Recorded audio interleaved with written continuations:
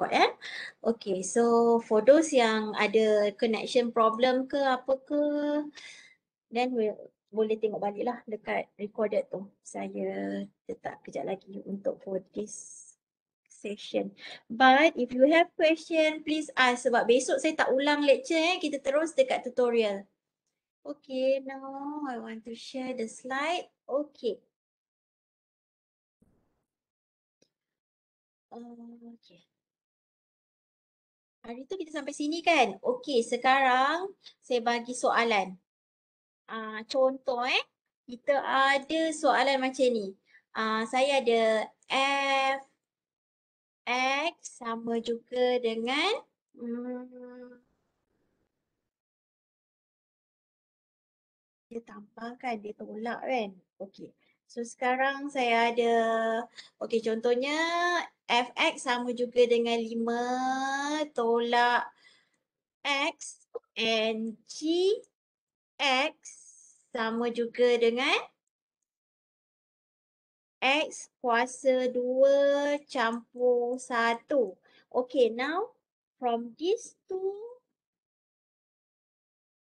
okay from these two, Okay, dua ni. Ni, dua ni.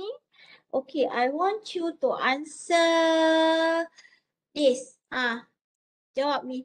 Jadi berapa nilai dia? Ni eh, soalan kita ni. Yang dalam garisan ni. Jawapannya berapa? Apa dapat?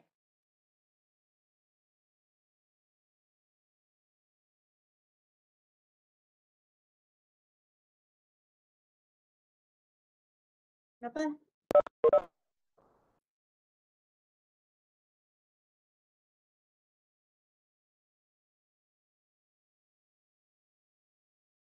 Tak dapat ke?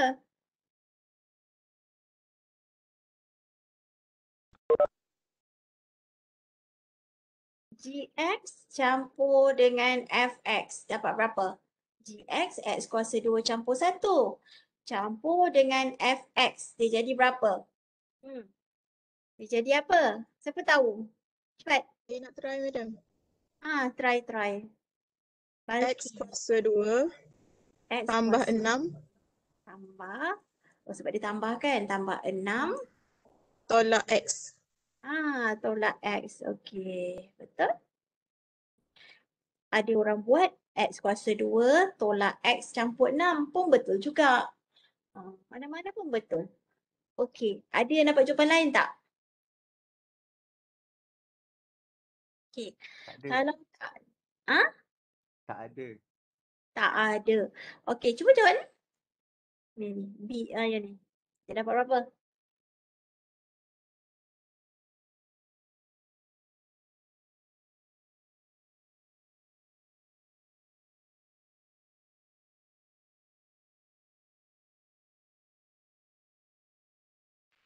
Um, negatif 2x tambah x tambah 6. Okey, so yang ni saya letak kat atas ni jawapan dia ialah okey sebab kita ada ni fx tolak gx betul. Okey, dia ialah tadi apa jawapan dia? Negatif 2x tolak x tambah 6. Sekejap, kejap. Negatif 2x. Okey. Um, okey. Kamu dapat negatif 2x Tadi siapa-siapa tadi? Ah, uh, Z. Ah, Z. Ah, negatif 2x. Ah, uh, tolak x tambah 6. Ni negatif 2x ke tolak x kuasa 2? Okey. Ah, uh, yang ni dua ni tak boleh selesai Z kalau macam ni. Eh, salah, salah madam. 2x kuasa, uh, x kuasa 2. X ah, kuasa uh, 2. Negatif x kuasa 2 kan? Ha. Salah dia kuasa 2 tu. Okey. Kan X kuasa 2 macam tu. Okey. So jawapannya betul ke? Ada yang dapat jawapan lain tak? Ada yang memang tak tahu tak? Ha. Soalan. Raise your hand. For those yang tak tahu.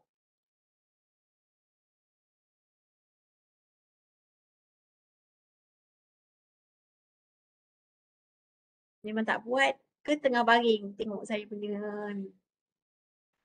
Saya rasa semua tahu kot Madam. Ya. Ha, okay. Alhamdulillah saya saya tak tak langkah lah ya. Saya anggap jawapan ni betul lah. Ha. Okay. So now I want you to do this.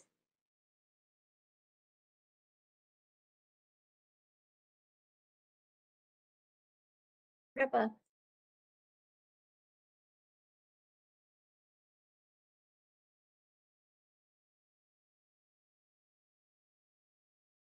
Fx kali dengan gx. So dia, kalau dia kali bermaksud darab kan. Ada kurungan kat situ. fx kita ialah 5 tolak x darab dengan gx kita ialah apa? x kuasa. Uh, madam, saya nak Ha? try. Ha, Jawapannya negatif x, x kuasa 3 tambah 6. negatif x kuasa 3 tambah Tambah 6. 6. Okey. Kan? negatif x kuasa 3. Awak buat tak ni? Darab. Rasanya ada x kuasa 2, ada x Ah. dalam tu. Ah, okay, okay, okay, okay, Ha, ha, ha. Kena buat. Ha, saya salah tu. Kalau darab, dia kurungan dua ni, maksudnya kita kena expand. Kita kembangkan dia. Hmm.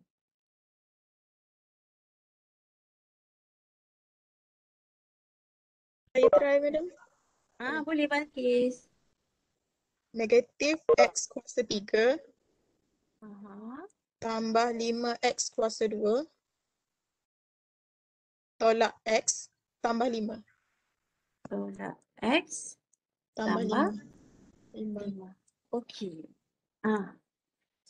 Betul ke Balkis ni buat ah, yang lain? Yang lain anda buat ada yang lain ke? Betul. Ah. Yes. Yogan Pika, you want to say something? Betul ya Ahmad Daniel? Ha? Sama? Ha. Okey. Kalau sama, okey. Ke, ke ada, saya tak dengar sangat your, your voice.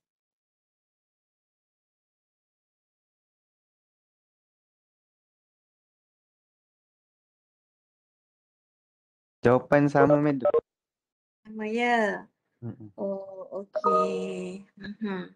So, betul lah yang Balkis bagi ni. Saya tak semak lah ya. Kita anggapkan betul. So, kita teruskan ya. Maksudnya, for this kind of topic which is combination of function, the algebra, the algebra of function tu maksudnya kamu dah tahu. Okey. Dan kalau contoh eh, uh, dia kata fx sama juga 5 tolak x. Dia minta kamu cari f x tolak 1. Macam mana kita nak cari? Berapa? Ha, macam tu. Macam mana pula? Okay, this is the question x and this is the gx. Macam mana kita nak dapat jawapan? Dia nak minta cari ni. F dalam dia ada x tolak 1 pula. Um, F dalam kurungan uh, Hmm. lepas tu kurungan lagi 5 tolak X tolak 1. Lepas tu tutup kurungan, tutup kurungan. Tolak x tolak 1 tutup kurungan. Okey, jadinya dia jadi macam ni kan Zat? Ah, maksudnya ni jadi apa? Dia jadi ni kan yang ni daripada sini kan ni fx kita. Jadi fx tolak 1 tu dia ialah fx tolak ah, kat sini ialah kat sini ialah tolak 1.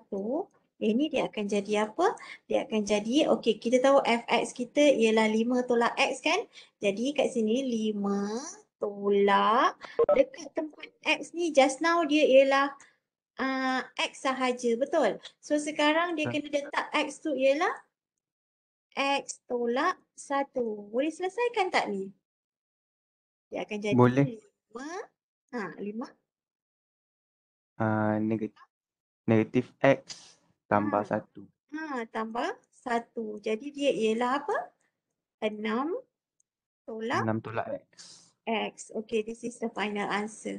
Okay, actually the composite function which is kita letak benda ni dekat dalam tempat X. Ha, itu maksud saya.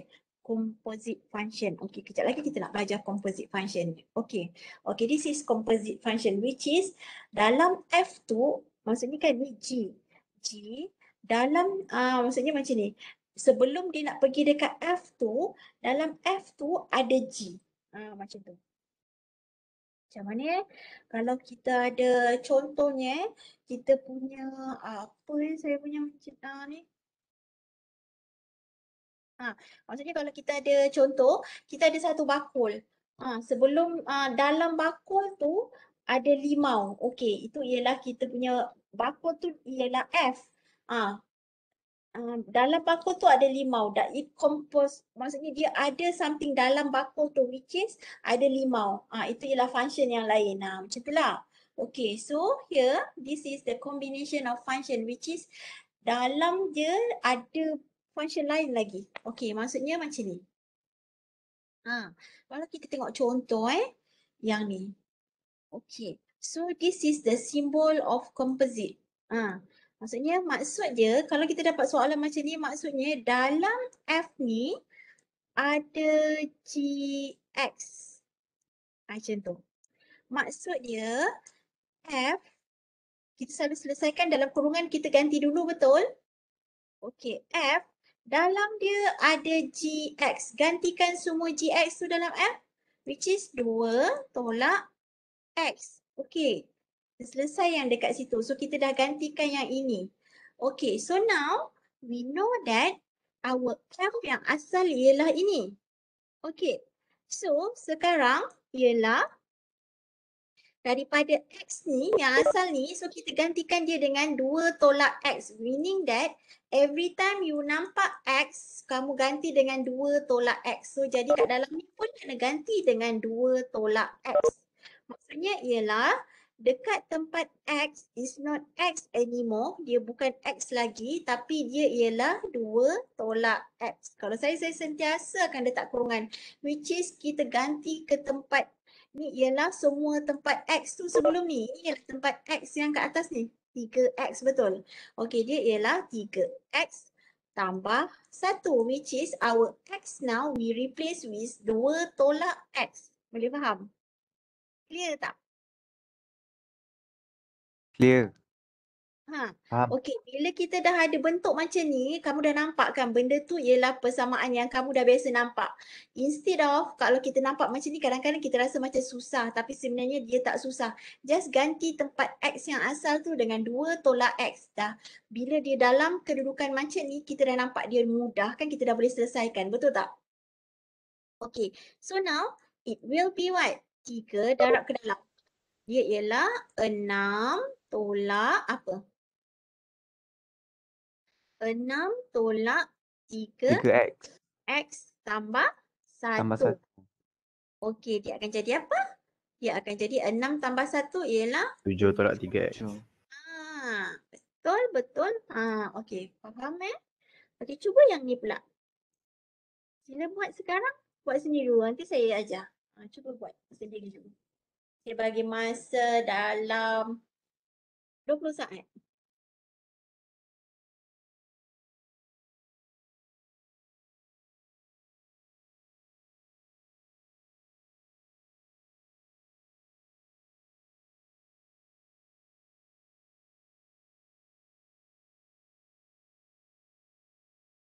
Okey, dapat dah.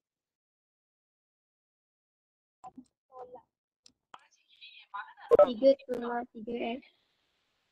3 kurungan 3x. Ya, yeah.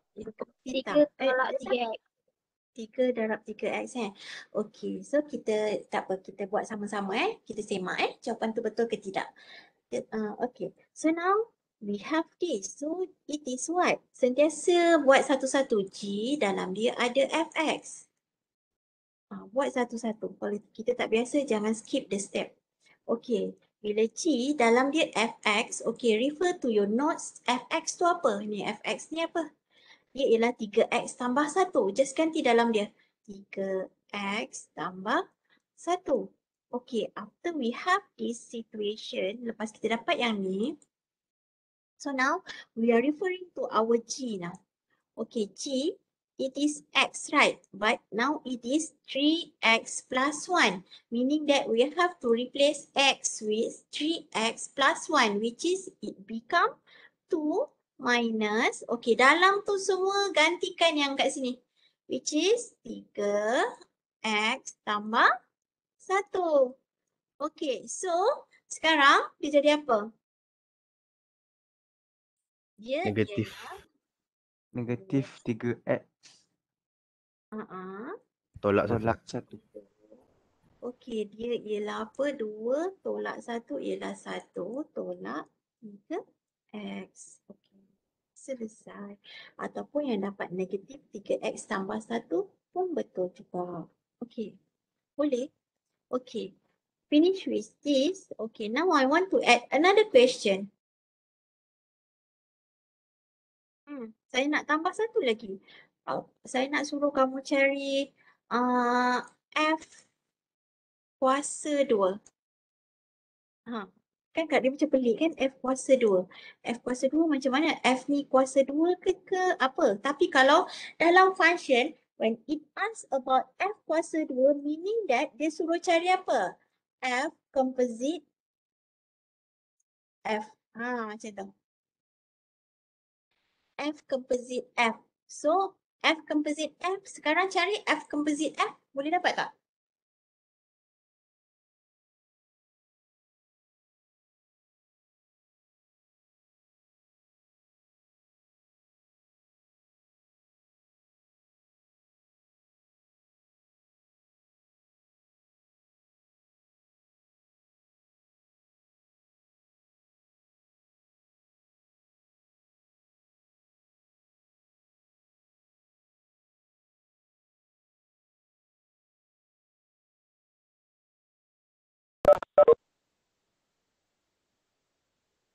Okey, dapat berapa?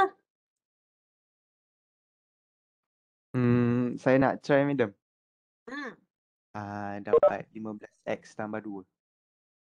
15x tambah 2 kan.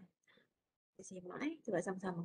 F dalam dia ada fx, betul?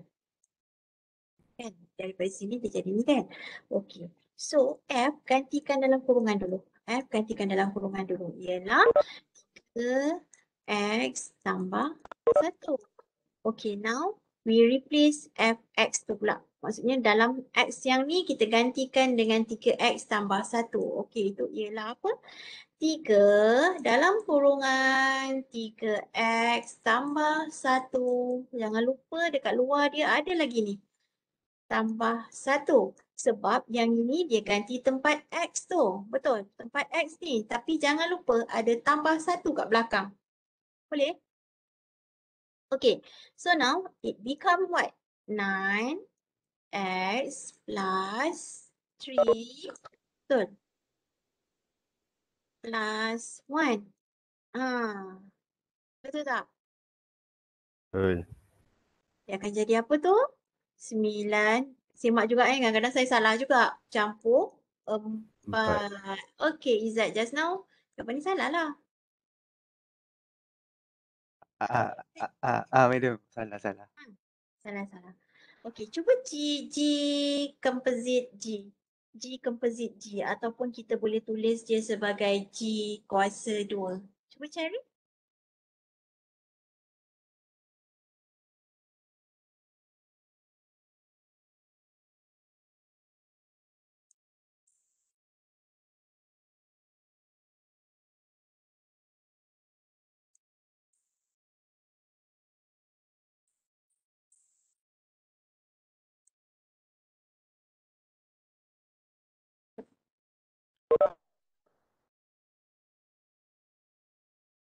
Dapat jawapan apa?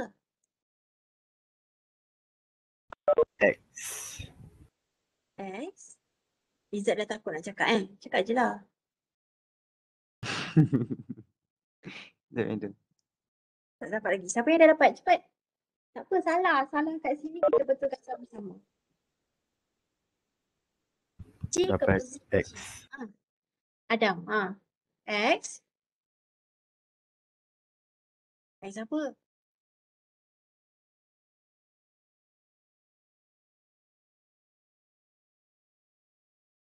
Apa tu? X je. Ha, X je. X je. 4x tolak 2 madam.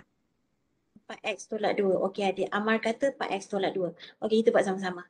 Okey, so kita ialah G, dalam dia ada GX. Okey, sentiasa buat. Sebab mula-mula saya belajar composite function ni, hmm, dia, dia dekat admax eh. Dekat model math dia tak ada eh. Ada tak? Tak silap saya ada macam modern ada math. kan? Ada kan? Ada Ada. ke? Ada Saya tak ke? Macam tak? belajar. Ah, tak pernah Ada belajar pula. Ada. Saya belajar. Ah, tak apa, tak apa. Kita belajar sama-sama. Saya pun sebenarnya nak ingatkan saya belajar kat mana. Tapi yang saya nak cerita ni sekarang, masa saya buat composite ni, a bit, macam saya rasa susahnya macam tu. Tapi kan bila saya buat macam ni, uh, G, composite ni dia dekat dalam. Kita gantikan satu-satu, dia lagi mudah saya rasa lah kalau saya. G, dalam dia ada G, so kita buatlah satu-satu. Kita gantikanlah G kat dalam dia, which is 2 tolak X. 2 tolak X kan? Okay, so sekarang dekat G yang asal tu, G yang asal ni, GX, sekarang X ni akan jadi apa? 2 tolak X kan? Bentuk dia macam ni kan? G 2 tolak X. So kat situ kita kena ganti X ni dengan 2 tolak X. Ha, okay dia ialah 2 tolak 2 tolak X, betul? Kan?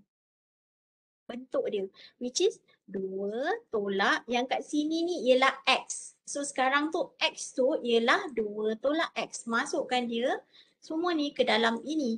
Okay, so ialah 2, 2 tolak X. Dia ialah apa ni? Okay, careful with the negative in, uh, outside the bracket. Okay, so now it will become apa? 2 tolak 2 tambah. Tambah X. Ha, betul lah. Siapa tadi Adam eh? Jawapannya ialah X. Okey. Ha. Betul ni betul. Boleh? Hmm. Jangan takut. Biasa kalau dia dapat jawapan X pun dia ialah nombor. Kalau dia dapat jawapan kosong pun dia ialah nombor. Ah, macam tu. Kita jangan takut. Ah. Kalau dulu-dulu kalau cikgu saya kan cikgu saya ingat masa tu saya tingkatan 4 cikgu admat saya cikgu Roselina.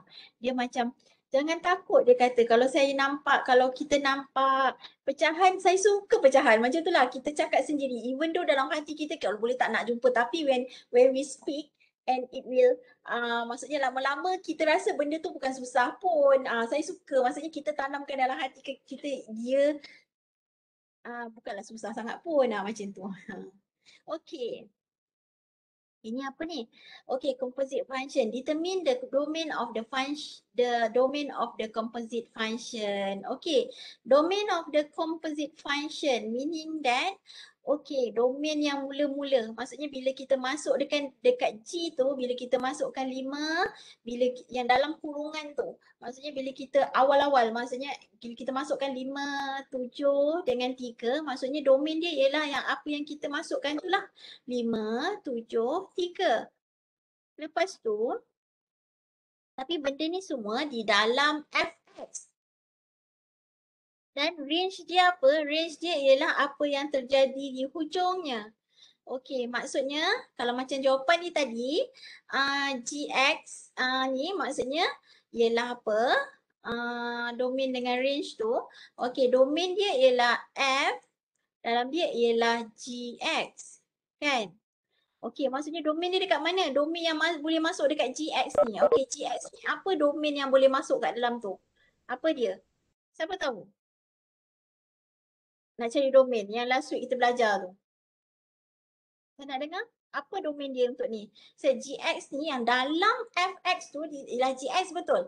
So X tu is one input of GX. Okay, so now X ni apa dia domain? Apa benda yang bila kita masukkan dalam ni X ni, GX ni tertakrif. Boleh kita masukkan satu tak dalam ni?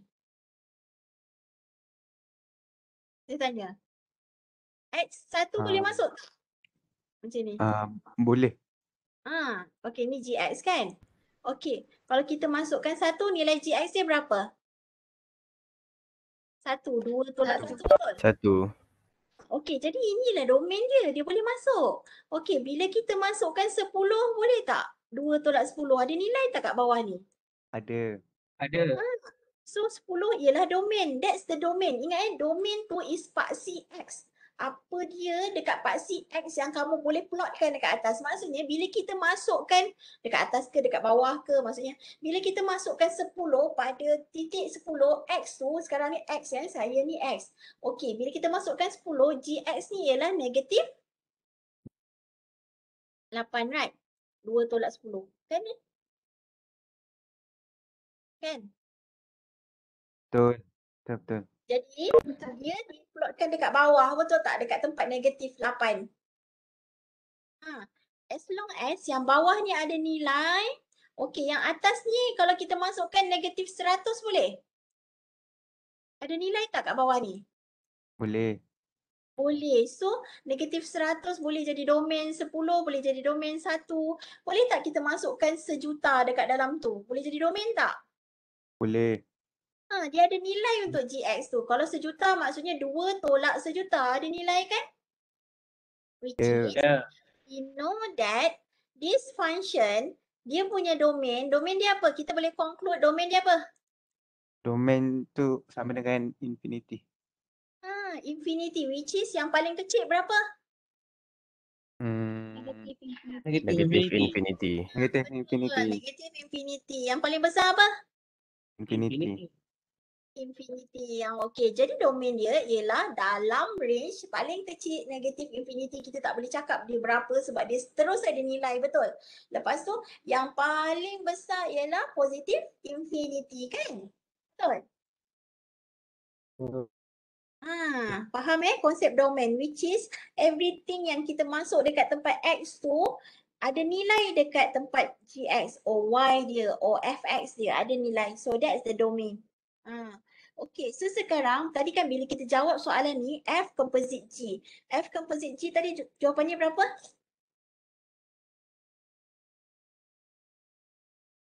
F composite G which is F dalam dia ada G. Tadi siapa yang dah buat ni? Cepatlah. Berapa? Lupa dah. Tolak X right? Okay, kat sini ialah F ialah 3, 2 tolak X tambah 1. Okay, ini ialah 6 tolak 3. Betul kan? Tujuh. Betul. 3X tambah 1 which is i- 7 tolak 3X. Okay, ini ialah F composite G. Ini ialah F composite G punya nilai. Okay, so ini ialah domain. Domain kita dapat daripada sini nilai GX yang dekat dalam ni. And the next slide tadi dia kata range tu ialah hasil daripada ini. Which is hasil daripada ini ialah ni. Okey, jadi kita tahu bahawa range kita berapa ni? Okey, range kita berapa? Bila kita masukkan, tadi kan bila kita masukkan satu, kan? Nilai ni jadi berapa? 7 tolak 3, betul? Dia akan jadi 5, eh 7 tolak 3, 4 kan? Betul. Empat. Ha. Betul empat. Okey, bila kita masukkan 10 kat sini akan jadi 7 tolak berapa? Tiga puluh. 7 tolak 30 what which is dia akan jadi uh, negatif 20 Dua puluh tiga. Ha, maksudnya semakin tinggi nilai dia, semakin negatif nilai range ni, betul tak? Maksudnya semakin tinggi nilai Betul. X yang kita masukkan tu, dia akan jadi semakin negatif kan? Maksudnya nilai range dia boleh jadi yang paling kecil ialah negatif infinity, betul tak? Betul. Bila kita masukkan nilai X yang paling kecil negatif 100, negatif 1000, ini akan jadi positif betul tak? Sebab kat sini negatif 3 kali negatif 100 dia akan jadi negatif 3. Dia akan jadi tambah 3, uh, 3 kali 3 900 betul tak? Saya masukkan kat sini. Maksudnya kalau kita masukkan negatif 100 dalam sini, dia akan jadi 7 tolak 3 kali negatif 100 dia akan jadi 7 tambah 900 betul tak? Dia akan jadi semakin besar. Bila kita masukkan negatif number dalam X yang dekat dalam ni, FGX ni akan jadi semakin besar dan semakin besar. So kita tahu range dia akan jadi negatif infinity ke infinity. Ha, macam tu. Boleh? Madam, domain tu paksi X kan? Yes. Range tu paksi Y. Uh-uh. Tetapi sekarang saya nak cakap domain yang ni kalau dia fungsi f, g, x kan? Macam tu. Okey, yang ni dia akan jadi macam ni tau. Dia akan jadi paksi y kita tu ialah f, g, x tu and paksi x ni kita ialah x yang masuk kat dalam ni. Ha. Dia akan dipelukkan macam tu. Bila dia ialah composite function. Boleh faham? Boleh. Hmm, yang akhir tu nanti. Sebab kalau yang F uh, macam biasa kita buat kan kita masukkan lima, nanti kita plot dekat empat. Kita sampai kita berhenti dekat tahap ni je. Betul tak? Kita tak consider bila dia masuk lagi dalam F. Kan macam tu. Tapi yang ni untuk case ni kita consider yang belakang ni tak apa. Nanti kita tengok tutorial eh. Tapi kita tahu bahawa domain tu ialah something yang baru kita masuk dekat X tu. Maksudnya X masukkan satu, X masukkan dua and range tu apa? Range tu ialah nilai yang di hujungnya. Dia dapat berapa? Okay, untuk composite function yang di hujungnya lah. Kalau dia F composite F, uh, so F composite F lah. Kalau G composite F, G composite F lah yang di hujungnya. Ha, macam tu. Okey, tak apa. Kita tengok ni. Kita nak tahu kita faham ke tidak. Ha, ni yang tadi ni lah. Ni yang kita dah buat tadi eh. Ini yang pertama ni kita dah jawab ni. Maksudnya F composite G yang tadi tu lah 7 tolak X eh. Betul tak? Ni. 7 tolak 3X madam. Oh, 3X eh.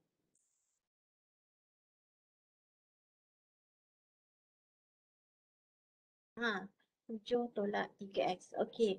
Ha ni. Ni jawapan ni kan F composite G tu. Okey. Then kita tahu bahawa ini kan dia nak tahu domain dengan range. Okey, domain dia apa? Domain dia ialah F dalam dia composite GX. Mana saya dapat ni? Ni ialah daripada perwakilan ni. F composite G tu ialah F dalam dia ada GX. Okey. So sekarang kat sini dalam dia ni GX yang dalam ni. Okay so sekarang kat situ ni ialah domain dia. Domain dia ni nak dapat dekat mana? So tengok kat sini lah. GX yang ni kan. Jadi tengok dekat X yang ini. Okay jadi kita dapat tadi kan macam cara tadi tu lah. Kita tahu domain dia ialah negative infinity to infinity. And the range now, range dia ialah tengok nilai ni bila kita masukkan nilai uh, x dia negatif infinity kita dapat maksudnya negatif infinity maksudnya negatif seribu. Bila kita letak negatif seribu kat dalam nilai sini jawapan akhir dia akan dapat apa? Dia akan dapat positif yang besar kan macam tu. Yang makin besar which is kita tahu untuk range kita dekat situ range dia akan jadi infinity and our domain dia akan jadi negatif eh net domain pula. Yang paling kecil untuk range dia ni ialah domain. Okey, ni ialah domain. Dan ini ialah range dia. Range dia. Hmm. Okey, so kat sini yang ni. Find G composite F. Buat yang ni pula. So sekarang bila G composite F, dia akan jadi apa? G dalam dia ialah F X. Okey. Bila G dalam dia ialah Fx. Fx ni apa? Fx ni yang ni kan? Okey. Dia ialah G dalam dia ialah Fx ialah 3x tambah 1. And the domain untuk ni ialah kita tengok Fx ni punya x which is 3x tambah 1. Boleh tak kita masukkan semua nombor daripada negatif infinity ke infinity ke dalam fx ni. Boleh tak? Maksudnya kalau kita masukkan 100, 3 kali 100 tambah 1, boleh dapat nilai kan? Nilai besar kan? Kalau kita masukkan negatif. 3 kali negatif 100 tambah 1 akan dapat satu nilai negatif, betul? When we try to increase it, kita try to increasekan dia, maksudnya 1000, boleh masuk tak? Okey, negatif seribu. Boleh masuk tak? Okey, so kita tahu bahawa dia ada nilai untuk setiap nombor X tu. Which is dia ialah daripada Negative infinity to infinity dia punya domain. And range dia macam mana? Range dia ialah kita kena selesaikan ni. Kita kena selesaikan ni which is G dalam dia ada tu maksudnya sekarang kita tahu bahawa kita punya G ialah 2 tolak X. Okay so dia ialah 2 tolak X kita ialah kat sini 3 X tambah 1. Okay, so sekarang dia ialah apa? 2 tolak 3 X tolak 1. Nampak tak? Yang ni kan? Rasa saya macam tadi lah. Dia ialah apa ni? 1, 2 tolak 1 ialah 1 tolak 3X. Okay, so now dia punya range kita tengok kat sini bila kita masukkan domain kita negatif seratus, negatif seribu, nilai dia akan jadi positif betul tak kat sini negatif seribu? Ada yang tak nampak tak? Susah kan kalau online ni maksudnya saya tak nampak muka kamu kalau kat, kalau dekat kelas biasa saya kan bila saya tengok student saya tu saya tahu. Dia buat-buat faham ke? Dia memang tak faham ke? Dia nak ambil hati saya dia angguk ke? Macam tu saya boleh boleh rasa lah macam tu. Tapi bila kita tak nampak kamu tidur kat rumah pun saya tak nampak. Ha, macam tu. Based on trust betul tak? Okay, so sekarang kat sini, bila kita letak negatif 100, bila kita letak negatif dekat tempat X ni, negatif 100, we know that it will be positive here. Which is, it will getting bigger. Dia akan jadi positif. Yang dia akan jadi semakin besar, semakin besar. And we, when we put positive infinity ke dalam ni, dia akan jadi satu nilai yang semakin kecil, semakin kecil. Which is negative infinity. Okay, so sekarang kita tahu ini ialah kita punya range untuk this composite function. Okay, um, honestly, I want to know are you understand about which is apa tak domain dengan range ni? Kita dah slide berapa ni? Ha, faham tak sendiri domain dengan range ni?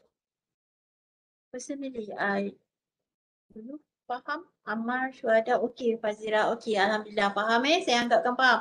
And tomorrow we'll continue with our tutorial. Kita buat jawab domain dengan range eh? Okay. Alhamdulillah ha. Okay, so sekarang saya share balik lah. Ah, saya. Kalau tak faham, saya nak terangkan lagi lanjut. Tapi saya rasa better we go for the small group tomorrow and try to answer the question. Okay, so now this is example seven. Okay, example seven ni kan kita tadi dah jawab and this is properties for graph or function. Okay, all form of relation can be represented on coordinate. Okay, to test if a graph, kat situ to test if a graph displayed is a function, vertical line are drawn parallel to the y-axis. The graph is function if vertical line drawn through the domain cut the domain at only one point. Okay, maksudnya apa tu? Macam ni kita tahu bahawa kita punya fungsi, fungsi yang macam mana? Fungsi selama ni kita tahu bahawa dia ialah apa? Dia relation dia apa? Relation dia one to one. One to one, one to many, many to many. Ah itu relation. Tapi bila kita kata dia fungsi, dia ada dua relation je, betul tak? Betul. Apa tu? Lagi satu. One Saya nak lagi satu. One, Okey, one Amar. to many. many to one.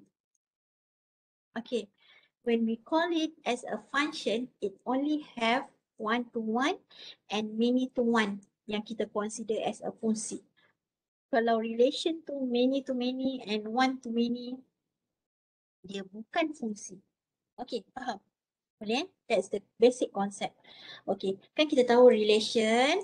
Okay, relation tu saya tahu macam tadi yang saya berjawab tu.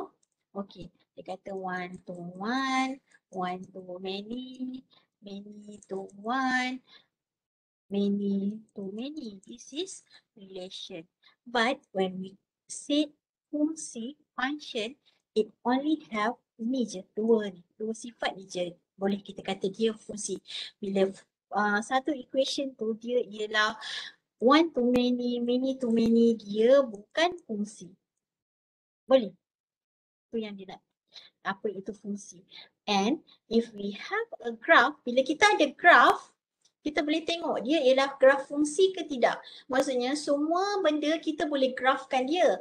Tetapi sebab dia ialah relation, betul tak? Macam macam saya kata relation between uh, taburan hujan dengan hari, berapa hari bulan, uh, relation between uh, berat dengan uh, uh, kita punya usia. Okay, that's the relation. But when we plot it, bila kita plotkan dia, adakah dia fungsi? Ha, tak semua akan jadi fungsi. So, how can we determine whether it is function or not?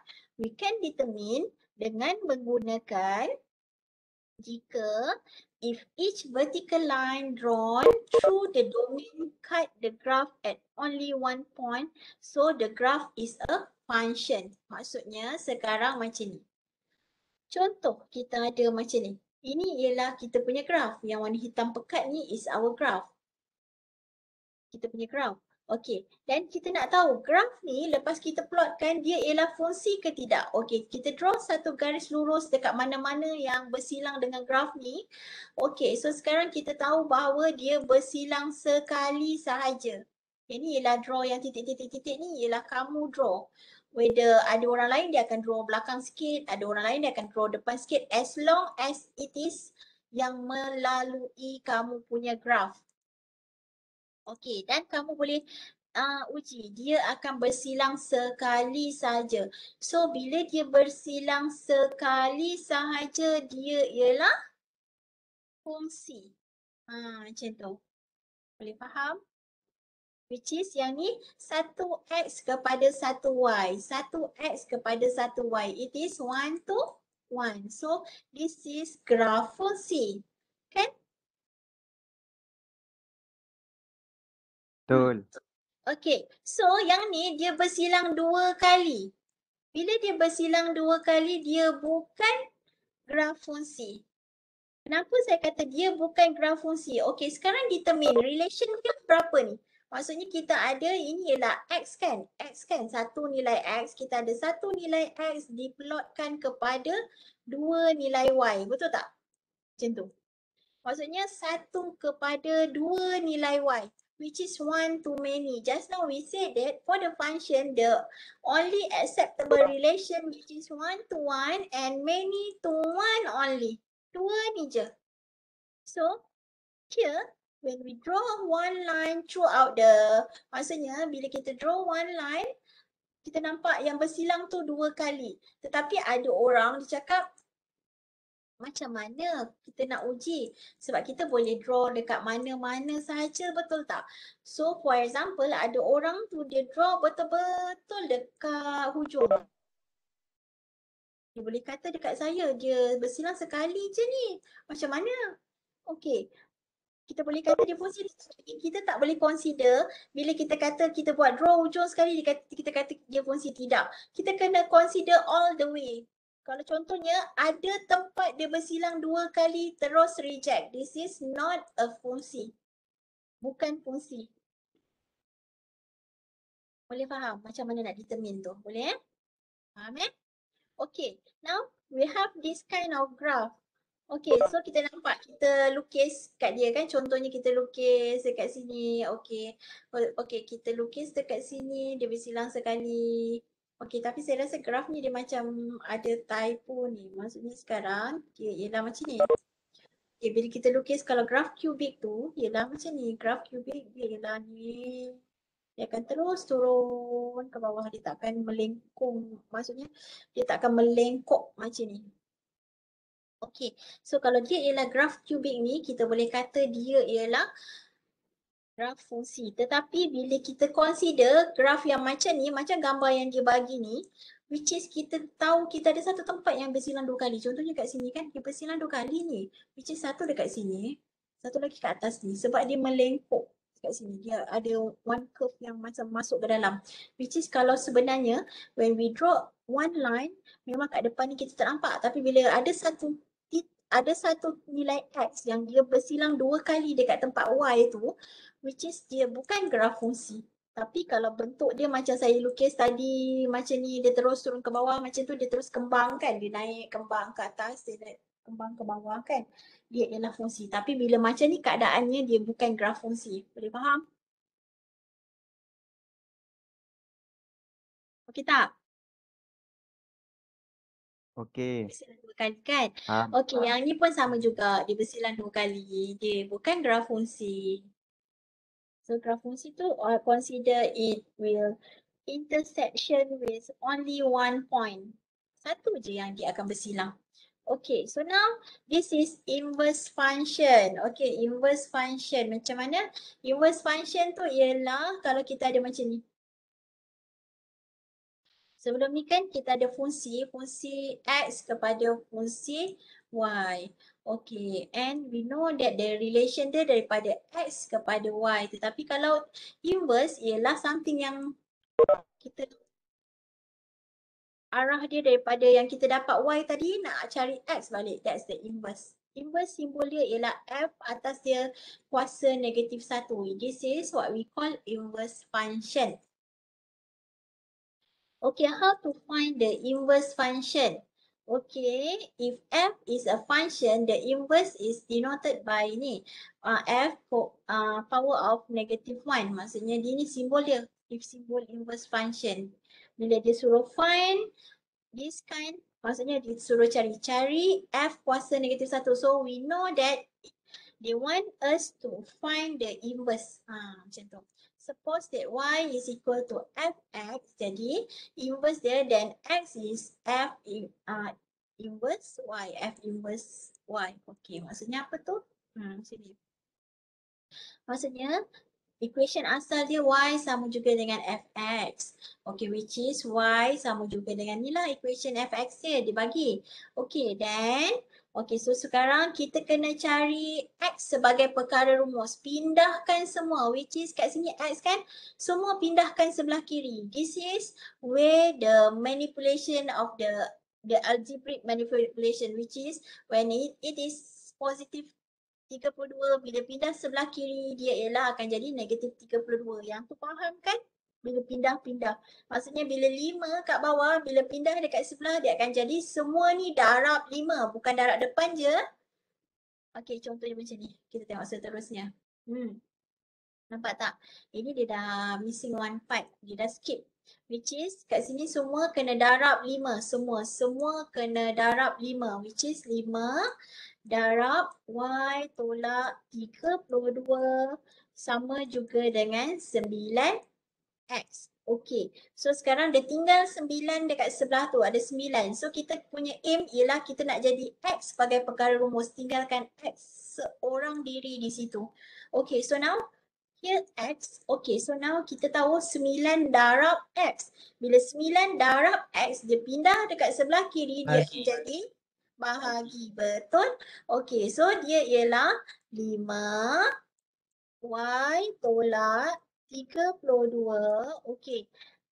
Kalau kamu nak tulis semua sekali bahagi 9 pun betul, depan saja bahagi 9 pun betul. Bila depan saja bagi 9 kita tahu yang ni memang akan jadi semua sekali sebab dia akan expand. Kalau dia nak kembangkan kita kena expand ke dalam macam tu juga 5 ni.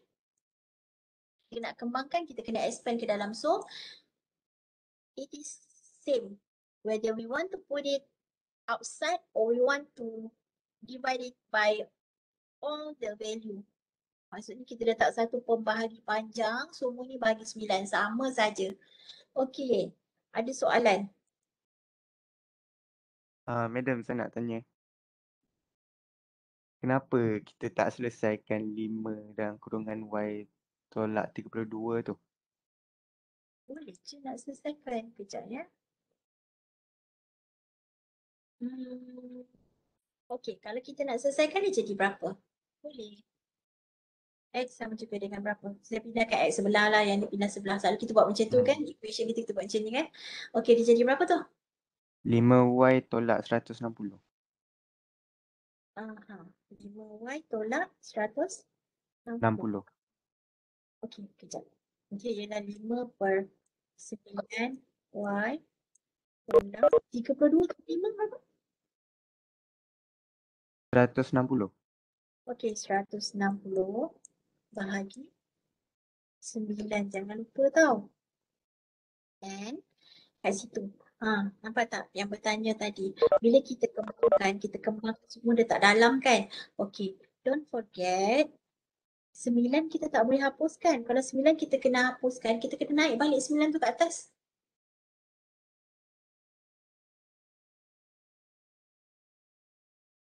Faham tak apa maksud saya? Maksudnya jawapan akhir dia ialah X sama juga dengan 5 per 9. Apa lagi? Y tolak. Boleh tak 160 uh, bahagi 3 boleh? Ada, ada nilai tak? Saya nak simplify ni dengan 9. Hmm, tak ada. 160 bagi 3 tak ada? Tak boleh eh? Tak boleh. Dapat point. Okey, jadi uh, 9. Okey, dia ialah 160 bagi 9 jugalah ya. Okey, jadi jawapan dia ni lah. Kalau kita nak kembangkan. Okey, boleh. Betul ke? Maksudnya betul ke tak boleh simplify? Which is 160 boleh bagi 2, bagi 3. Ah, okey, bagi 3 tak boleh. 60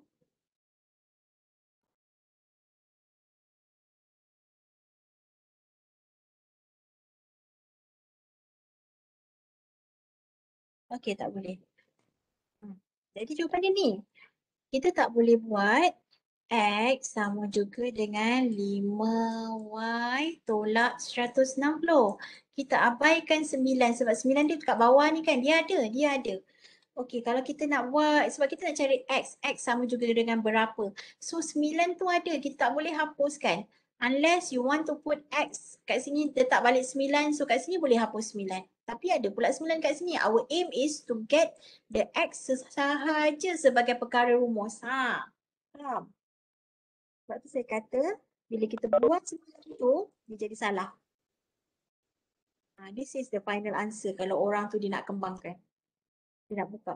Tapi kalau kamu tak nak buka, kamu nak biar je macam ni, pun betul juga. Boleh. Hmm, nampak tu? bila kita dah jadikan X sebagai perkara rumus, jadi kita boleh kata dia ialah F inverse dia ialah, okey nampak tak kat sini ialah Y. Okey, so sekarang bila kita ubah Y ni kepada X, okey maksudnya ialah macam ni. Okey, bila kita ubah Y ni kepada X, so dalam ni Y kena ubah kepada X juga. Okay, this is the final answer. F inverse dia ialah 5 per 9 X tolak 3 per 2. Okay, cuba cari ni. Inverse untuk yang ini. Boleh dapat tak?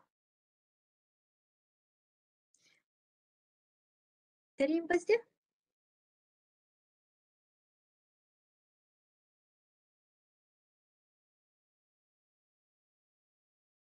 Berapa?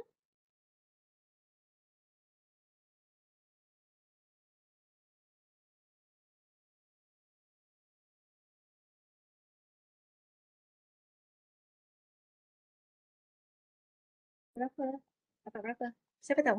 Okey, kita buat satu-satu lah. Okey, so sekarang kat sini kan macam tadi. Maksudnya kita tahu bila kita tengok slide yang sebelum ni, kita tahu mula-mula bila kita nak cari inverse, saya ajar satu-satu tahu. So because I know someone, maksudnya there is someone yang tak tahu daripada mula-mula kita nak buat apa bila kita cari inverse. Okey, so sekarang mula-mula gantikan macam ni. Y sama juga dengan Fx. Okey, jadi lepas tu jadikan X sebagai perkara rumus. Okey, Adam dah dapat. Okey, so now dekat sini, uh, dekat sini, Y sama juga dengan Fx. Jadikan persamaan tu kepada Y sama juga dengan Fx. Fx kita apa? Ialah ini. X tolak 3 bahagi 2. Okey, so sekarang dia punya jawapan akan jadi apa?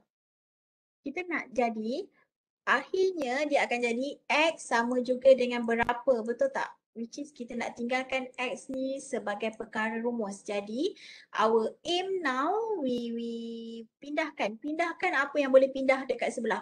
Sebab X tu kita nak jadi dia seorang-seorang je. Okay so sekarang dia akan jadi 2Y sama juga dengan apa? X tolak tiga. Okey, so sekarang dia akan jadi yang ni X ni kan. Kita nak tinggalkan dia seorang-seorang. Jadi kat sini ada tolak. Bila kita tahu ini tolak, bawa ke sebelah. Which is 2Y tambah 3 sama juga dengan X. So mesti berjaya lah ni. Misi kita berjaya. Kita nak tinggalkan X seorang-seorang. Jadi, ha, macam mana tu? Dia akan jadi, ingat balik. F inverse. Okey, kalau kita letak Y, dia akan jadi, ni jawapan kita ni. 2Y tambah 3. And kita jadikan X, Y ni kepada X kita ubah. Okey, jadi F inverse ubah X sama juga dengan 2X tambah 1. Faham?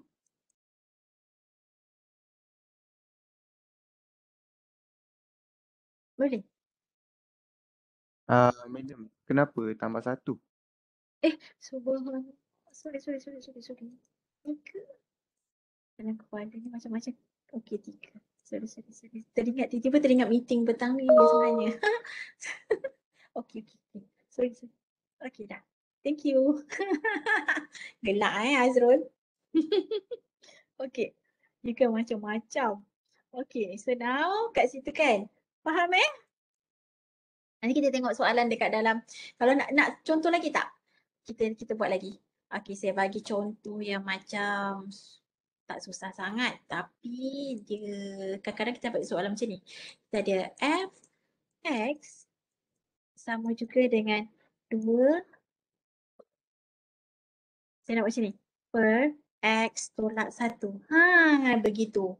Try to find f inverse x sekarang.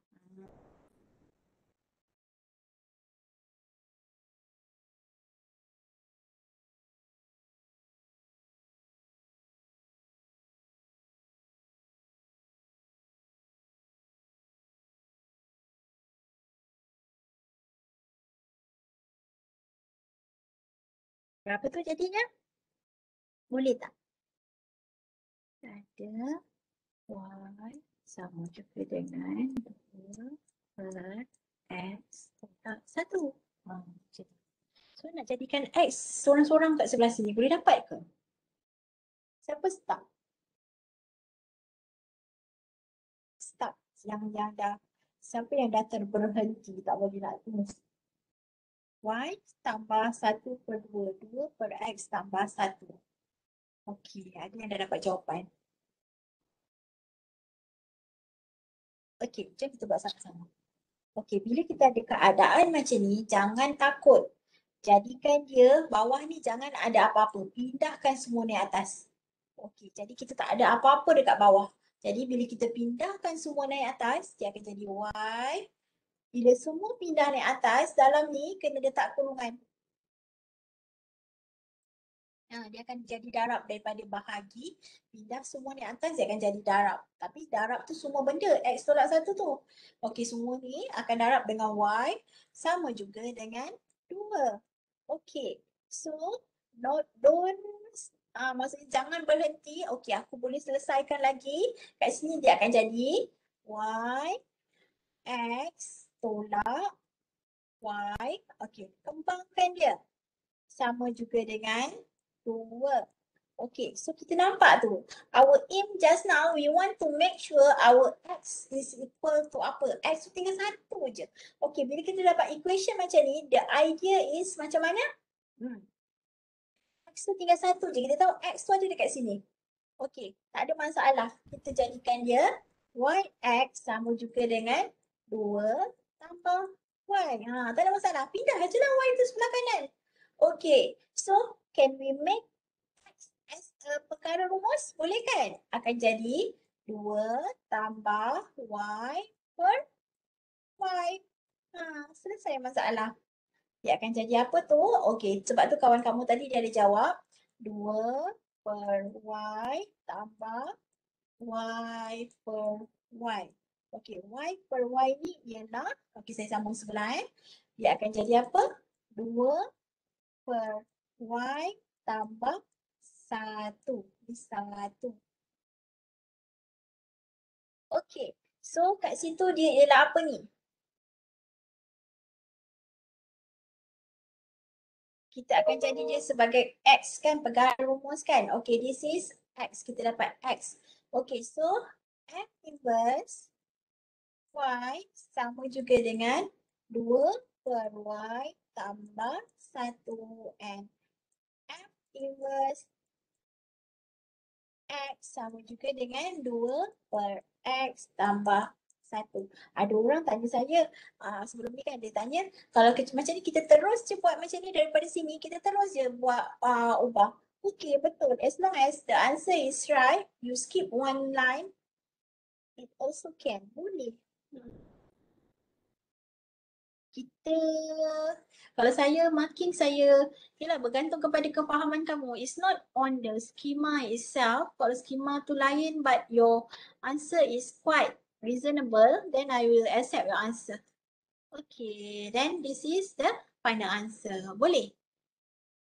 Kalau nampak macam ni tadi jangan takut. Pindah aja. Anggap benda ni macam okay. Okay, boleh selesaikan ni? Boleh selesaikan. Okay, macam tu. Okay, macam saya lah juga. Boleh selesai-selesai. Tiba-tiba salah kan? Okay, kita confident. Selesai, boleh. okay.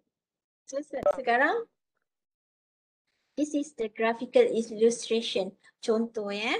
Kalau kita ada, okay, this is our y. Y sama juga dengan 2x tolak 1. Ni ialah garis dia. Garis yang saya birukan ni ialah garis y sama juga dengan 2x tolak 1. Okey, apa dia inverse? Inverse tu secara grafikalnya, inverse tu ialah kita pantulkan dia mirror. Which is kita pantulkan dia dekat paksi y sama juga dengan x. Okay, so sekarang bila dia dekat sini, bila dia terpantul, dia akan jadi satu titik yang dekat sini. So, this is the inverse function. Inverse dia. Hmm. Kamu dengar apa tu Ahmad Daniel? Ha? Okay. So sekarang this is the inverse for this function. Maksudnya bila kamu dah lukiskan, bila saya suruh cari uh, cari graph, buat graph untuk contohnya macam ni. Hmm. Okey, bila saya suruh lukis graph, kamu dah dapat dah. Okey, ini ialah graph yang kamu dapat sebelah ni. Okey, contohnya saya punya soalan seterusnya based on this graph, berdasarkan graph ni, sila lukis graph untuk inverse. Can you draw a graph? A graph? Kamu bolehlah cari graph dia kan? Mula-mula buat satu garis yang macam mirror kat situ. Okay. Jadi, pantulkan dia. Pantulkan dia which is graph inverse dia ialah yang ini. Bila kamu lukis yang tu kan. Jadi, pantulan dia ialah ni lah something macam ni. Which is ini ialah graph inverse dia. F inverse and ini ialah kamu punya graph F yang asal. And then pantulkan je, tak perlu selesaikan. So kita dapat pantulan dia tu ialah dia punya graph inverse. Okay. Tapi kalau nak check juga bila kamu cari equation ni, okay kamu draw balik graph, kamu akan dapat juga pantulan dia tu ialah inverse dia. Ingat balik eh konsep asas nak lukis graf kan? Buat table tu. Macam ni lah juga. Kalau kita ada fx, inverse dia ialah pantulan dia tu. And this is also. Bila kita nak cari inverse dia ialah pantulan dia tu. Hmm. Madam. Okay, cari. Ah. Kalau pantulan tu memang uh, garis X sama dengan Y? Ha, pantulan dia tu memang ini je. Dia punya cermin tu yang ni je. Sentiasa, sentiasa. Jangan cari oh. garis lain. Ha, okay. sentiasa. Kat situ. Jadi dia, uh, maksudnya FX kita warna merah, dia terpantul jadi warna biru. Ha, jadi macam tu lah. This is the pantulan dia. Inverse dia. Macam ni kan. F kita ialah warna purple ni. Pantulan dia ialah something yang dia terpantul. Kat situ kita tak adalah pantulan dia mesti ke atas dia juga. Tidak. Kita cari Y sama dengan X tu kat mana dan pantulkan dia. Macam dulu kan kita ada macam belajar um, apa ya? Um, pantulan. Ah, pantulan. Ah, ini lah pantulan. Ah, ah, jelmaan pantulan gitu. Ah. Itu ialah Hmm. inverse sebenarnya. Ha. Sebenarnya dalam your computer science punya bidang pun ada guna pantulan ni sebenarnya. Saya tak ingat dekat mana. Tapi dekat dalam hmm, bila kita buat uh, database relationship tu bila dia one customer pergi ke banyak receipt dan we want to figure out uh, receipt ni siapa punya. Maksudnya receipt ni siapa yang belanja. Contohnya kita dah buat kira-kira tiba-tiba kita tengok ada short. Okay, customer ni betul ke dia bayar? So that kita reverse that particular function which is daripada receipt kita nak cari siapa customer dia. Okay, jadi kat situ kita reverse kan. That's the inverse thing involved. Ha, nampak tak kat situ? Database punya back. Ha, macam tu. Okay, that's in term of database lah. Hmm. Kadang-kadang kita ada dengar juga macam orang kata reverse engineering. Ha, reverse engineering is something on inverse dia punya. Inverse the process. Okay, so this is, ah ni yang macam contoh saya tadi. Okay, cari inverse untuk ni.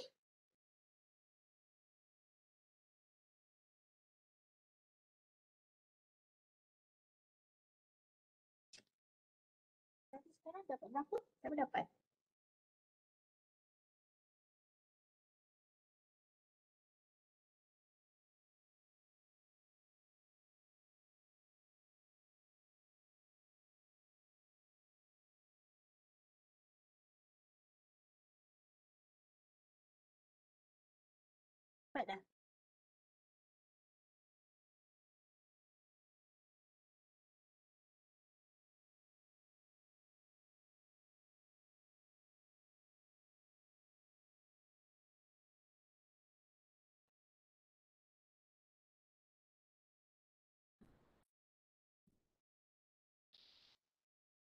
So sekarang find the inverse. Inverse dia ialah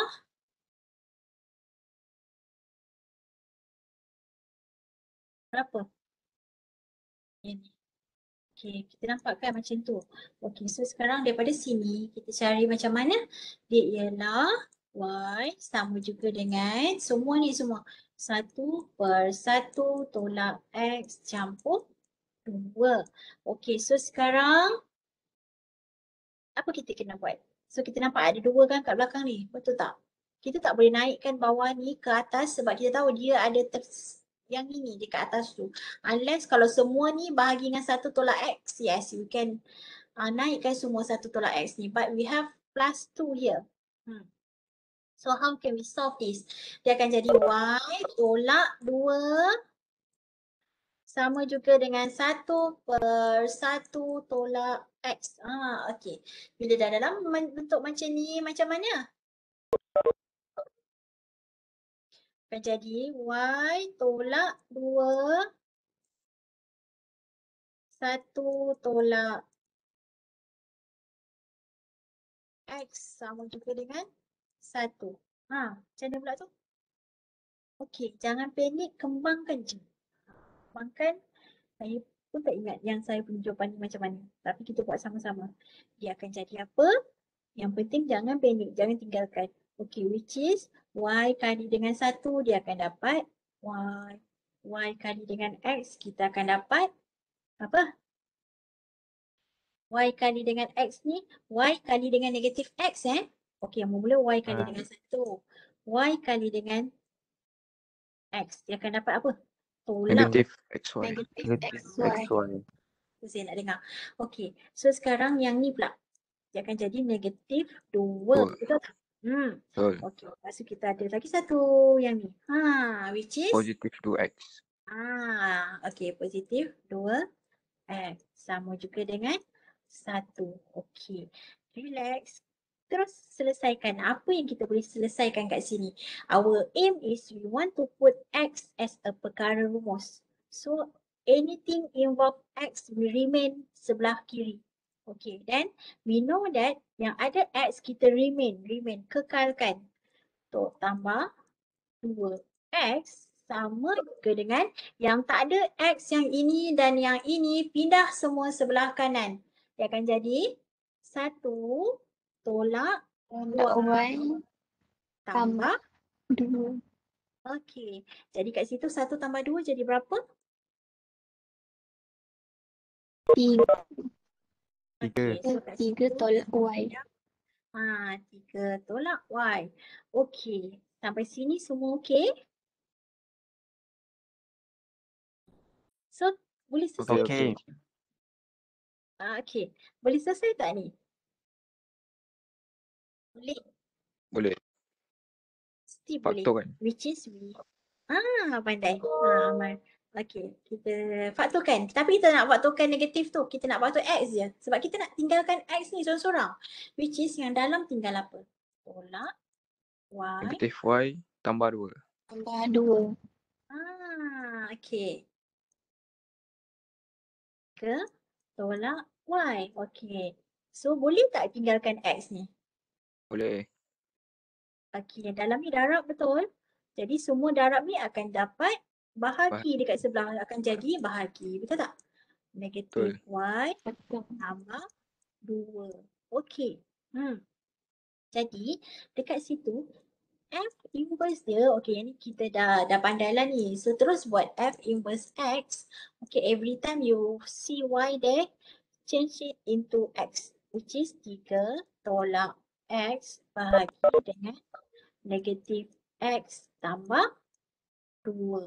Okay, selesai. This is the final answer. Boleh faham? Okay, ingat eh. Dapat soalan jangan give up. Mesti boleh selesaikan. Ha, macam tu. Relax. Okay, we can solve it. Okay, so now we know this is the inverse and it's not stopped there. But there is another question. State the domain of the inverse. Ha, this is the inverse function. Apa itu domain dia? Domain dia ingat balik, domain ialah apa-apa benda yang kita masuk dalam X. Okey nampak ni, dia ada dua pula X kat situ. Dia nak domain untuk inverse. Okey, kita dah dapat inverse ni. Tapi sekarang domain tu ialah something on X punya X punya paksi kan saya kata sebelum ni. Which is apa-apa benda yang kita masuk dalam X dia boleh diplotkan. Okay, so now kat sini boleh tak X tu dipel- diplotkan dekat semua tempat? Boleh? Hmm, boleh kecuali dua. Ha, pandai? Maksudnya dia sekarang bila kita masukkan dua dia akan dapat uh, tiga tolak dua dia akan dapat uh, satu per kosong. Betul tak? Which is Betul. bawah ni Betul. kosong. Okey, jadi bila bawah ni kosong, any number yang bawah ni kosong, tekan calculator, dapat berapa? Kosong. Tekan sekarang. Error. Infinity. Error.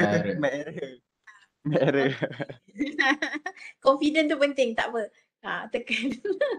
okay, so now we know that apa-apa number bahagi dengan kosong, kita tak boleh plot pun. Kita dapat value. That's maths error. It undefined. Dia tak tertakrif. Meaning that our x ni tak boleh sama dengan dua. Betul tak? Bila dia dua, dia akan jadi per kosong. Kan? Kan? So, our domain domain ialah apa? Ialah X tak sama dengan 2. Boleh nampak? Boleh. Hmm. Macam ni juga. Nampak tak? Sebenarnya kan soalan ni, bila kita tengok soalan ni, soalan ni dah bagi tahu kita, this is the domain. Which is, kalau kita ada equation macam ni, macam ni, macam tadi kan kita nampak kan, bila kita tekan calculator, bila kita gantikan X ni sebagai satu, dia akan dapat satu per kosong. Betul tak? Any number, any number that bahagi dengan kosong, it will undefined, tak tertakrif. Tekan calculator, it will get uh, error, right? Okay, so that kita tahu domain dia ialah X tak boleh sama dengan satu. Ha, macam tu je kita tulis domain dia untuk bahagi macam tu. Ha, boleh faham? That's the domain. Domain untuk benda-benda yang macam bahagi ni. Bila bahagi, bawah dia ada X contohnya uh, 5 per X kuasa 2 contoh eh. 5 per X kuasa 2. Y sama juga dengan 5 per X kuasa 2. Saya nak tanya apa domain untuk yang ni? Nampak tak? Bawahnya ada X. Jadi X tak boleh kuasa dua. No, mana boleh. X tak boleh sama dengan kosong. X tak boleh kuasa dua, tak, dia tak jadi. Maksudnya X tak boleh, dia memang kuasa dua. Which is, bila masa dia jadi kosong. Bila kosong kuasa dua, right? Betul. Ha, macam ni juga. Macam ni juga. Which is, satu tolak X masa bila dia jadi kosong. Kita nak jawab macam Satu. mana? Ha, which is selesaikanlah tu. Which is X dan bila dia jadi kosong, dia sama dengan okey satu pindah sebelah akan dapat negatif satu macam tu kan. X sama juga dengan satu. Maksudnya X tak boleh sama dengan satu sebab dia akan jadi kosong kat situ. Ha, kat sini. Selesaikan, selesaikan macam tu lah macam ni juga. Which is uh, kalau macam tu kan tadi ialah saya punya soalan tu ialah sat, uh, 5 per X kuasa 2 dia ialah Y. Okey so sekarang kita kata domain dia ialah X kuasa 2 tak boleh sama dengan kosong. Bila masa dia sama tak boleh sama kosong which is X kalau kat sini kuasa dia akan jadi punca kuasa kosong. Dia tak boleh sama dengan kosong which is punca kuasa kosong kan kosong. Hmm. X tak boleh sama dengan kosong. Ini ialah domain dia untuk bahagi. Tetapi kalau kita ada bahagi 5x campur 9 bahagi dengan 1500.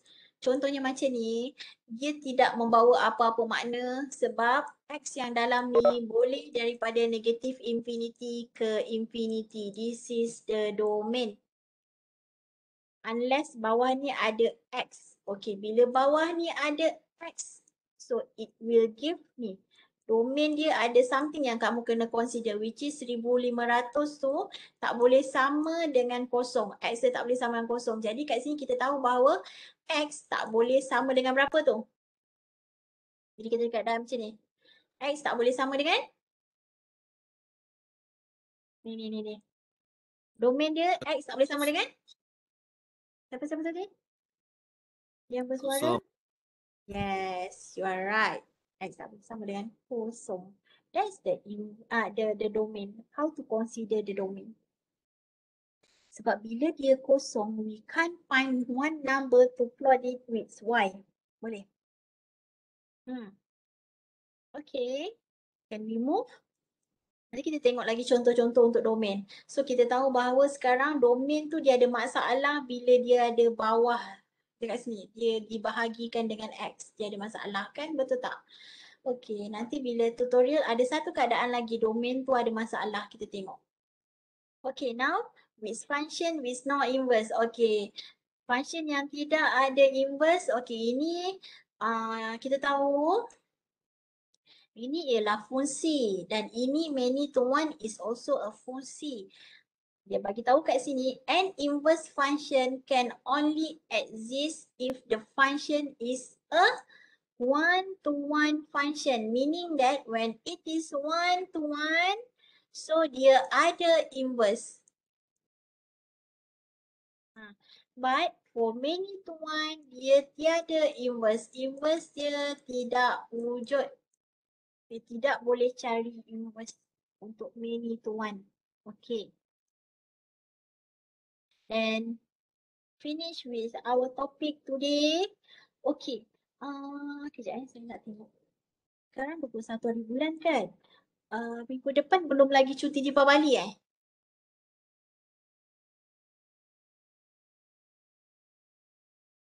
Tak tahu.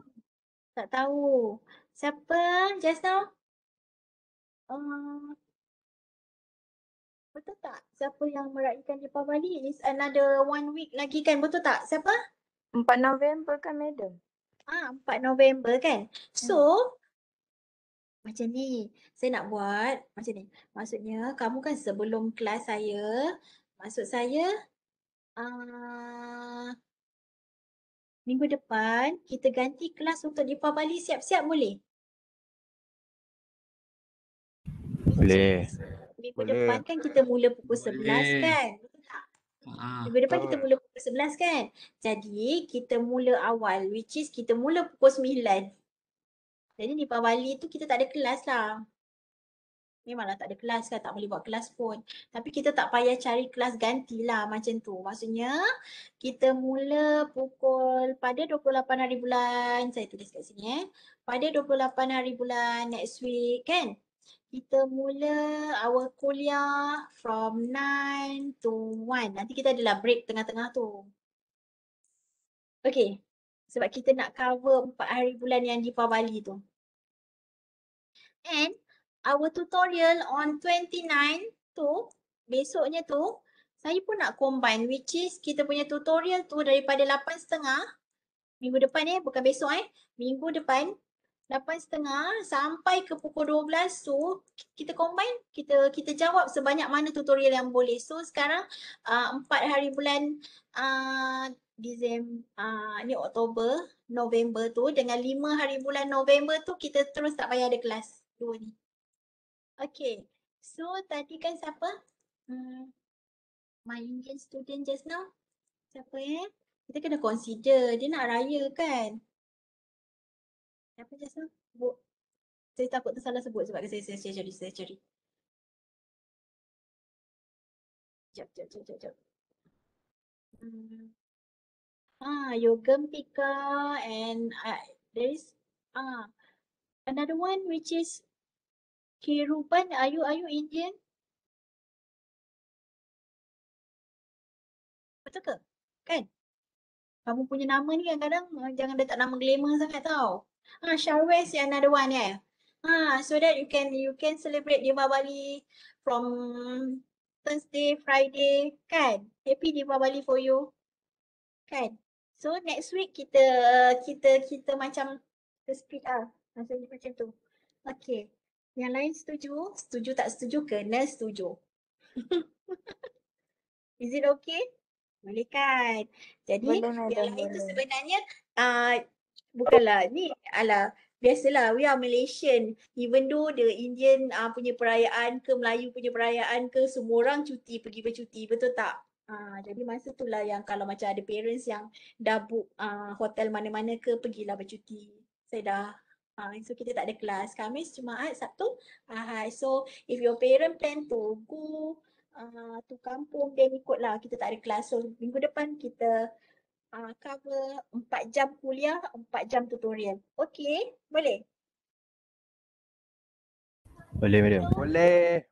Boleh sangat. So, ha, boleh sangat. So next uh, ne- uh, tomorrow we begin for S1 on 8 8.30 untuk S, uh, G1 untuk 8.30 so kita cover tutorial satu eh untuk um, sama juga untuk group yang lagi satu group 2 kita mula pukul 10 11, 11, 12 kan? Okay, kita cover tutorial satu. So, see you tomorrow. Don't forget to answer my latihan. Latihan tu saya buat macam lain sikit. Saya tak buat MCQ which is saya tak buat objektif sebab saya nak kamu rasa macam mana nak upload and uh, tak silap saya guna Word ke apa. Maksudnya kalau kamu tulis, macam mana kamu nak convert daripada kamu punya tulisan kepada kan guna scanner yang kat, kat handphone tu macam mana nak upload nah so that kamu dah biasa bila midterm test ke apa ke kamu dah biasa untuk upload kerja-kerja kamu. Okey. Itu ialah latihan kita untuk hari ni. Latihan tu saya buka sampai Sekejap ya saya buka eh saya lupa. Saya buka saya punya Yulen. Saya tengok. So let us look at together. This is the Google, share my Google. And this is your Yulen. Nampak Yulen ya? Okay, when we look at the week 3, bila kita tengok week 3, kita ada lecture note hari ni. Okay, uh, after this I will upload the recorded for this session. And this is the attendance which is kita punya exercise. Saya buka sampai hari Ahad. Ha, nampak tak kat sini? Soalan dia, kita nampak soalan dia macam ni. Kena jawab dan kena tulis. Dan lepas tulis tu, sila jawab soalan untuk besok tutorial, tutorial satu. And this is at extra on tutorial one. Okay, ni ialah nota tambahan. Sama je dengan nota saya ni. Je just explanation dia, dia lain sikit. And the important thing is the one at the back which is yang akhir tu, latihan tu. Hmm. Ha, latihan yang akhir ni, cuba jawab soalan untuk fungsi. Apa yang dimaksudkan dengan fungsi. Okay.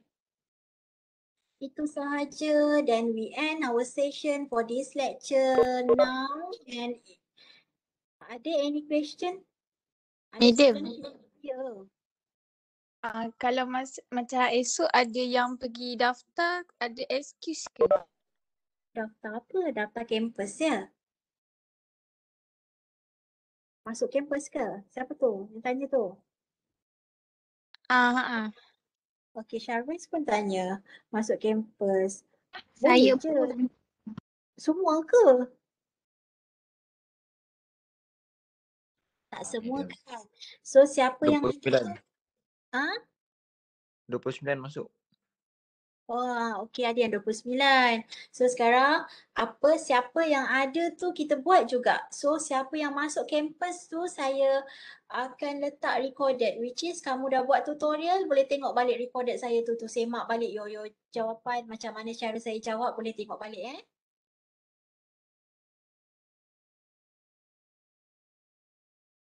Okay, so Syariz, uh, tak tak saya tak masuk mereka je. Saya memang dalam Oh, Syariz dah lama masuk eh.